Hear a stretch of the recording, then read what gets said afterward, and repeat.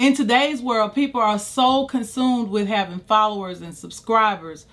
But I want to tell you the most important audience that we need to focus on. And it's God. God the Father, God the Son, God the Holy Spirit. The Godhead.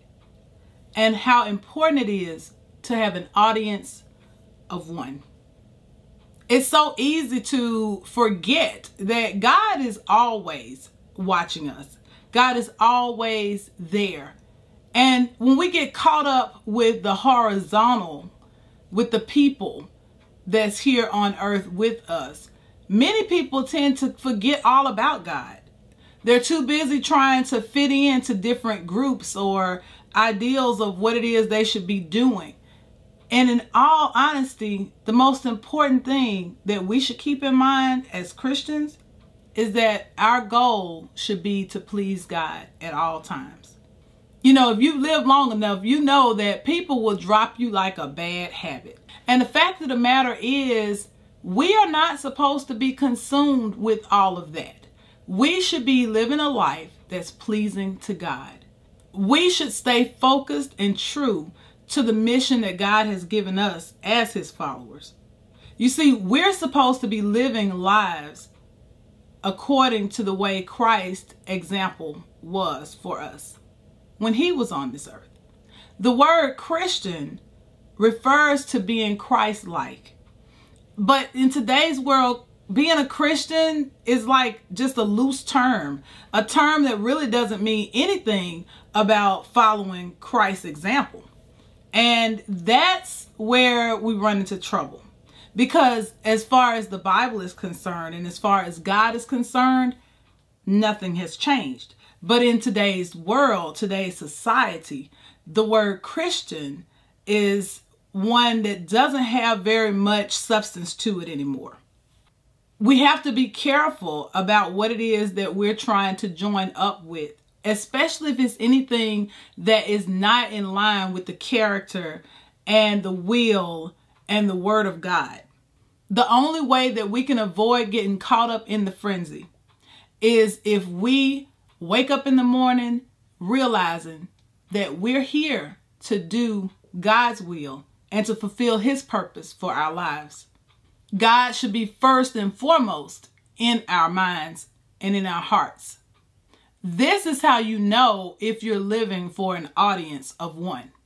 So, what that looks like is yes, we do interact with others throughout our days and we make decisions, but all of those decisions are funneled through God's will for us and God's word so that we can make the right decisions and the right choices in our day to day lives. So if you find that you actually don't think very much about God in your day to day life, then I would advise that you just slow down and take time to recognize where you are with your spiritual walk because to do anything otherwise is treading on dangerous ground. And for those who are truly seeking after the acceptance and approval of the world and the people around them, allowing those people to influence their decisions that they're going to make, I would caution you to reconsider.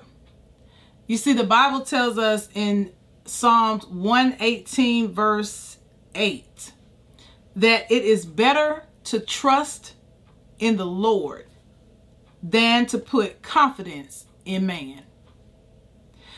If you want to have wisdom in life, we must know the Word of God because in the Word of God, you find much wisdom and we're able to apply that wisdom in our day to day lives. So, this is one of those scriptures that truly directs your understanding about the importance of not following after man, but to put our confidence and trust in God. In John chapter 2, we find Jesus applying this very scripture in a very practical way. This passage speaks volumes to me. John chapter 2, verses 23 to 25 is talking about Jesus here. It says, Now when he was in Jerusalem at the Passover in the feast day, many believed in his name when they saw the miracles which he did.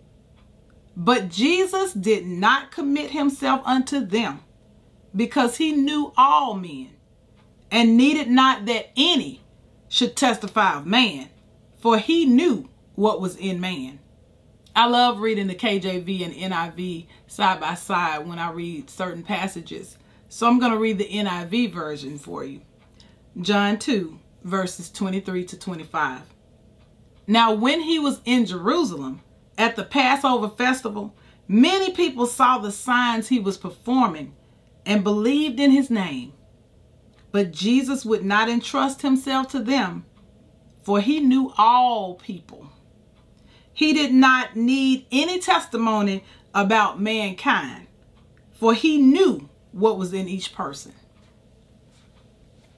The thing about this scripture is that it is very inclusive of all mankind, meaning we can be up one day, down the next.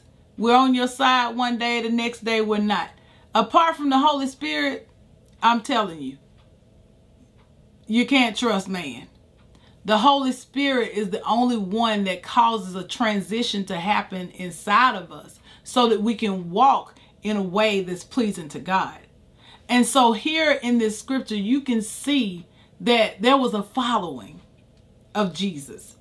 But Jesus didn't get caught up in the following. He was all about his father's business. And so we too are supposed to emulate and follow his example in our day-to-day lives. We can't get caught up on the crowd. We're not to get caught up and consumed with followers and subscribers in any shape, form, or fashion. We're supposed to keep our eyes on God. We must be true to Him. He should be the audience that we're concerned about. Are we pleasing God in our lives? Are we carrying ourselves in a way that God would be pleased? With that in mind, I've been led to do a series on authentic Christianity, and it'll be coming up soon. And I hope that it will speak to your heart and be a blessing to someone. I just feel that it's so important that we have this conversation because truly, people are watching us. Yes, the world is watching, but what are they seeing? Truly, if we are living according to God's word and we're walking in his principles and his promises, then we will live a life that is a light in a dark world.